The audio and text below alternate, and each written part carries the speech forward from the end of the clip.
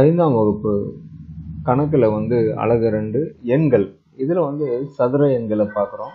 சதுர எண்களுக்காக இப்போ புத்தகத்தில் இருக்கிற பக்கத்தை தான் நீங்கள் பார்த்துட்ருக்கீங்க. இதை மாணவர்கள் மிக எளிதில் புரிந்து கொள்ளும் வகையில் இதை நம்ம செய்யலாம். அது எப்படின்னு பார்க்கலாம் இப்போ. சதுர எண்களை கொடுத்துட்டோம்.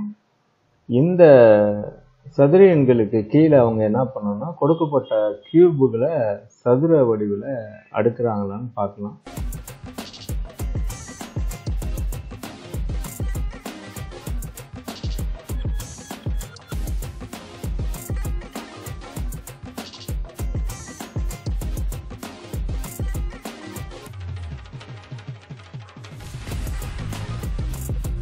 நாலு வந்து சதுர எண் ஒம்பது வந்து சதுர எண் பதினாறு வந்து சதுர எண்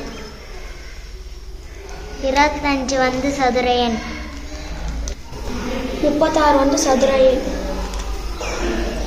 இப்போ இதையே வந்து நாம் புத்தகத்தில் இருக்கிற மாதிரி வடிவத்திலேயே செய்ய போகிறோம் அதுதான் மாணவர்கள் செஞ்சிட்ருக்காங்க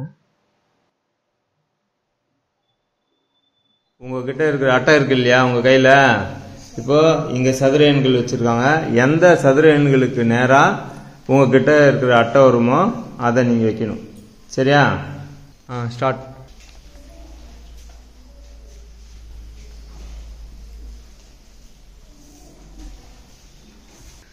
இப்போ அந்த வாய்ப்பாடுக்கு என்னென்ன விட வருமோ அதை வைக்கலாம். டக்குன்னு போய் வைக்கலாம்.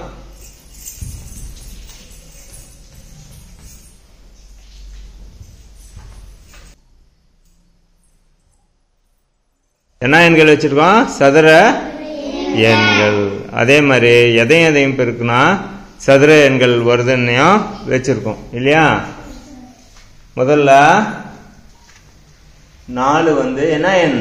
சதுர எண். எதையும் எதையும் பெருக்குனா நாலு வருது? அப்போ ஒன்பது சதுர எண் தானே? எதை எதையும் பெருக்குனா ஒன்பது வருது? அடுத்தது பதினாறு சதுர எண். எதையும் எதையும் பெருக்குனா வருது? இப்போ அடுத்தது இருபத்தஞ்சு வந்து சதுர எண். எதை எதை பெருக்குனா இருபத்தஞ்சு வருது? அடுத்தது முப்பத்தாறு வந்து சதுர எண். எதை எதையும் பெருக்குனா முப்பத்தாறு வருது?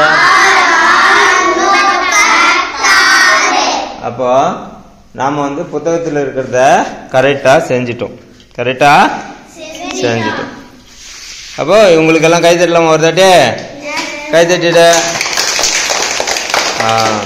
இதை புத்தகத்தில் பார்ப்பதோடு நில்லாமல் இதே போல செய்யும் பொழுது மாணவர்கள் எளிதில் புரிந்தும் அறிந்தும் கொள்கிறார்கள்.